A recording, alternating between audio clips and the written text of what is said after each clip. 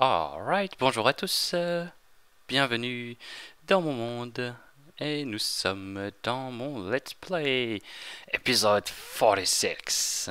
So, welcome to everyone and let's get started, shall we? As you probably already noticed, I hope you did, otherwise you're probably uh, either blind or have some problem with colors? Or really new to this game, I'm in the nether and I wanted to start this episode by quickly showing you how I've been collecting my netherrack for the last past week. And that's simply using TNT and the great thing now that my mob trap, the my mob trap is completely working is that I can make as much TNT as I want given that I have uh, pretty much an infinite supply of gunpowder. And thanks to the cobble blaster and the mining charges I have a lot of sand as well. So that's a good way to make a lot of TNT, lots of explosions. And as you can see uh, went to the nether with a full stack of TNT so using only 18 I have almost a full inventory given that I have a few empty slots, well not empty but already occupied by my tools etc but mm, I'd say that with 20 25 TNT you can get a complete inventory full of netherrack. You waste a little bit and of course the landscape is gonna look like crap but besides that who cares nether is so big, only made of netherrack, so oh, let's just do that in areas where I won't go to, well, build anything.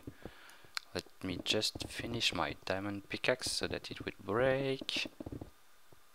And I'll try to make the landscape a little bit more flat, uh, by the way.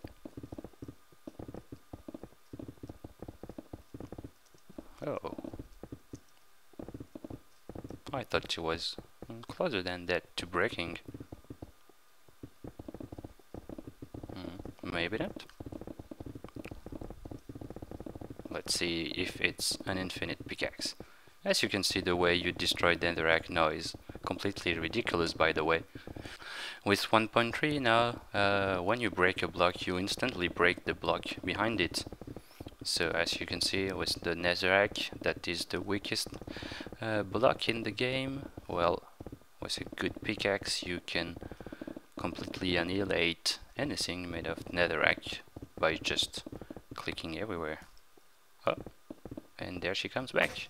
Oh, there we go. So yeah, that's a little bit ridiculous, but uh, I'd still rather use the TNT. It's a bit more fun. Okay, so now that that's done, we can get to our buildings. Oh, gee, Thank you, Feather Falling.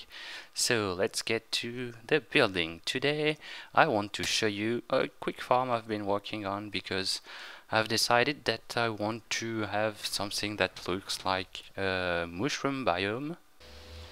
And for that I'm gonna need a mycelium farm, which is this room. And uh, we're gonna have a quick look at it. Uh, I built it in uh, a live stream, so if you're interested, uh, spoiler. If you're interested in seeing how I made this room, I'm gonna put a link to the live stream video on Twitch so you can see the whole building process. And now I'm gonna quickly explain to you how that works. So as you can see, we have some mycelium. The one on the border here are just to allow the mycelium to grow on the block in the middle. We have one block dispenser that's here to place new dirt block. And we have piston just uh, well let's remove it. Over here to push the dirt down we have another one that push the mycelium on this side. We have one other under the green wool here that push the mycelium up. And then the block dispenser here is the place where I collect the mycelium that is made. So um, let's see how it works to begin with. Yeah. It caused a little bit of lag because there's no block below uh, these blocks so there's some light updates every time they move which is something I should fix by simply placing some blocks downstairs. So as you can see block dispenser places dirt. And it move on the side. And they're swallowed by the block dispenser here. As you can see the mycelium is really quick to spread. I already have three over here and one there. So let's see how everything works. It's fed by a reed clock as usual I love this thing. They allow me to uh, harvest the mycelium farm every oh, 5-10 minutes. And they're really simple to make. You just need a block detector a torch on the side a little bit of dust the block dispenser. I'm gonna cut it off so you can see. Um, when it grows in front of the detector block dispenser swallows it so it destroys the reed in front of it and then it places it back. And it, that sends a pulse to a little counter using the block dispenser that will send 10 pulse for each full block inside here. Each pulse make the block dispenser switch to the next block until it reaches the torch. And the torch will act as a non-conductive block which will stop the counter and allow it to wait for a new start pulse from the block detector here. And so all of those pulses, they go here and then they go into our piston or our block dispenser. So we need to first place some new dirt to the block dispenser, that's the signal just here. The blue wool that goes to the dirt dispenser places some dirt. Shortly after it goes uh, all the way up. Yep, no, right there to the piston that push the dirt down then it goes to this piston that push the dirt on this side shortly after it goes into the green here with a little delay that push the mycelium up. And just after that the block dispenser again using the same thing. The torch is on the sandstone block here and makes the dispenser swallow the mycelium. So pretty straightforward nothing really hard uh, besides getting the timing right to place the block push it on the uh, down push it then on the side push it up here and swallow to finish and since the mycelium is not such a useful block, uh, besides if you want to do, well, what I want to do, which is making a mycelium uh, mushroom biome, uh, you can use the exact same system, but use grass instead. So if you switch the mycelium for some grass, it's gonna work the same way, and they spread uh, roughly at the same speed, so it should work exactly the same way which is pretty cool because dirt, uh, the grass is a better block, more useful. Anyway, now let's move to uh, a quick uh, other build I had to make and that's because my kiln is not working anymore, sadly. Uh, that's from 1.3 uh, update. I hadn't noticed how bad it was, but recently I tried to cook some urn in here and I lost almost 60% of the urns. I had two stacks in each and I only got like 35 or 40 urns being uh, cooked, so that sucks. And that's because of the way it works. Uh, yes there's some piston on each side and it makes the block go away. Give me that. Thank you. But now the the items are ghosting they're gusting every now and then and uh, it's causing most of the urns to stay stuck up here so I can't use this kiln sadly anymore but since uh, I really like this room it's one of the first I made in this world. I don't want to destroy it. To make something new I could uh, change the way it works but uh, I've decided not to since I can easily fit another kiln and that's what I did. So I've decided to place it just here because I had a little bit of room that I could use and that's now this room um, sadly I don't have enough any urn I think mm, let's quickly make you some so I can show you um, bum, bum, bum. no everything's cooked yep so I'm gonna quickly use my old system.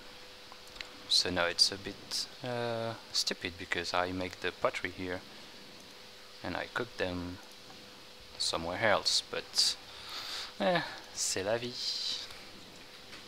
So just give me some, yeah, some urns. If you have any clay inside. Of course you don't. And here well at least that makes it four and uh, let's grab a little bit more clay. I should still have enough. My last clay rush was uh, at least a few weeks ago but I collected a lot because I wanted to make some buildings with bricks. Anyway I'm still not liking so far the way Mo Mojang handled the 1.3 SS SMP SSP merge. Uh, so far it's been really annoying.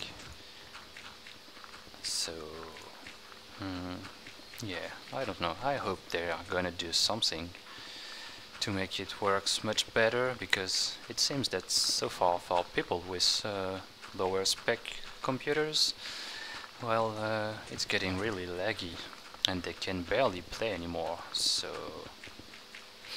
Hmm.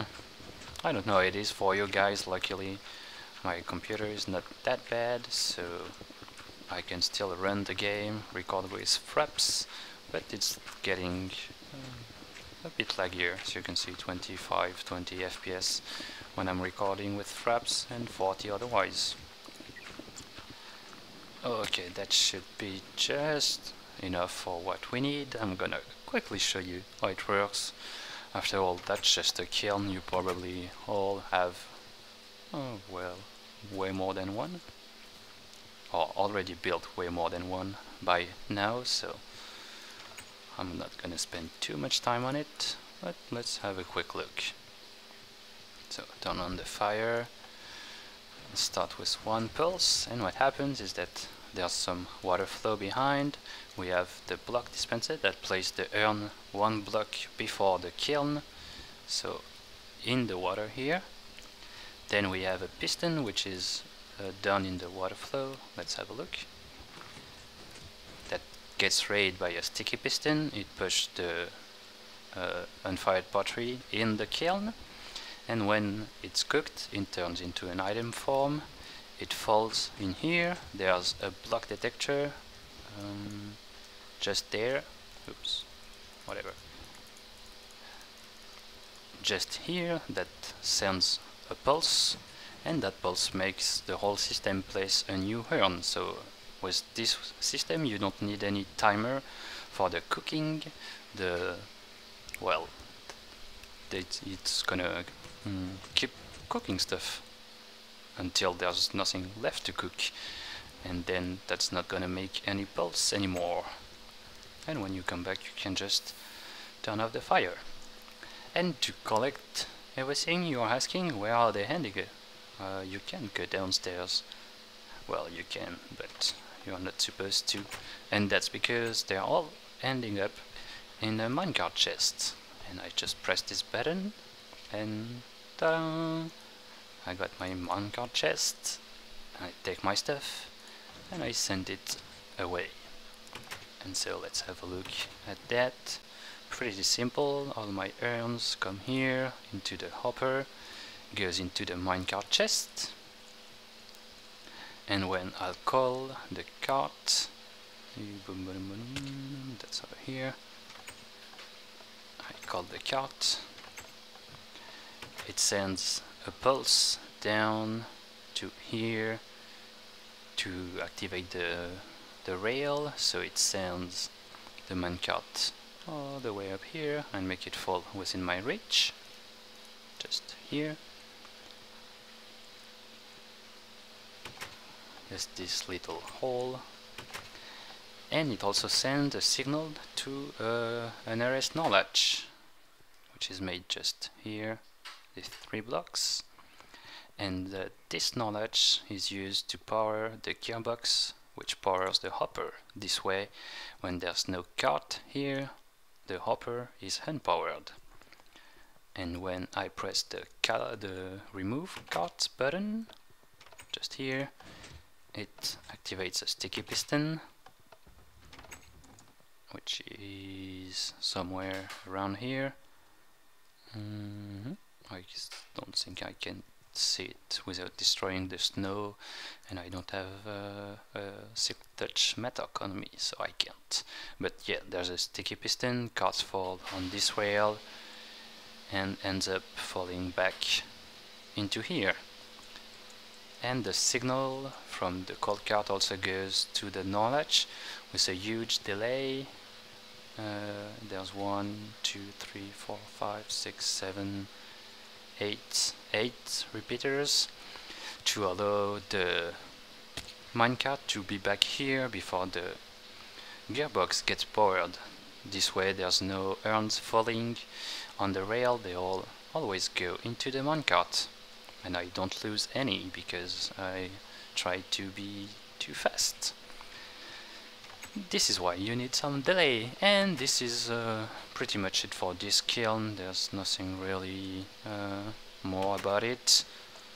We can have a quick look at the way um, well the urns are placed. The block detector which is over there downstairs. Mm -hmm. Mm -hmm. here. Sends its pulse all the way here. Yep into the same signal as the button I used to start the system. Goes into a monostable circuit to send a pulse. That pulse goes into the block dispenser to make it uh, first swallow but there's nothing to swallow then place back a new urn or whatever unfired pottery. Then it goes to the piston and the sticky piston so first it's over here. It pushes the regular piston up and it stays extended thanks to this uh, pulse extender here. And uh, it sends another pulse a little delayed so that the piston has time to go up, uh, then it pushes the urn, retracts, the sticky piston retracts, and we are good to go for another cycle.